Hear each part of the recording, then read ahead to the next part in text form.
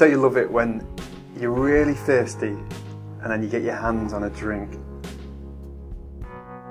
Oh, we've been looking at things Jesus said on the cross.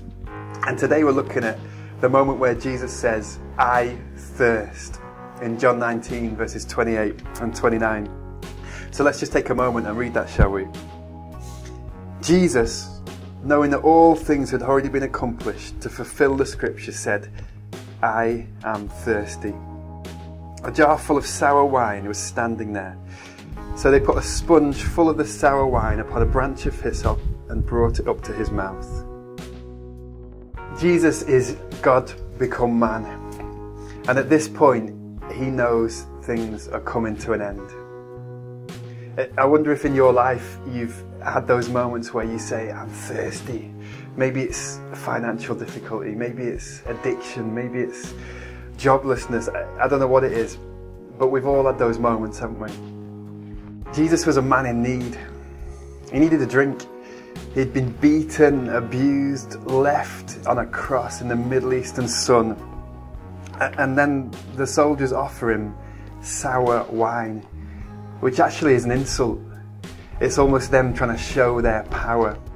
Jesus knows what it's like to thirst.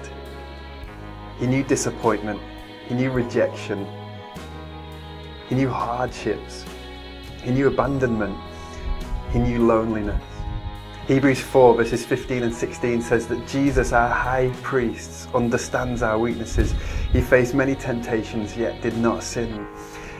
So let us therefore approach the throne of grace with confidence where we'll receive mercy at our point of need.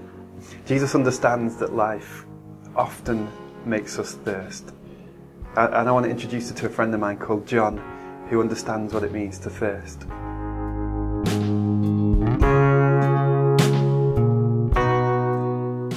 God's helped me through many stressful times from the death of a very good friend in Afghanistan, and the death of my young nephew who was born stillborn, to extreme bouts of jealousy where I thought it was going to ruin my family, ruin my relationships, ruin everything.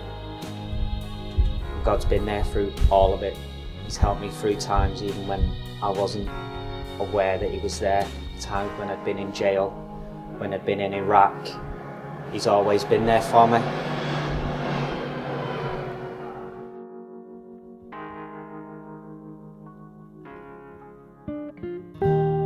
So there is hope. Jesus is the one who not only walks alongside us in those moments of thirst, but he's the only one who really can quench that thirst.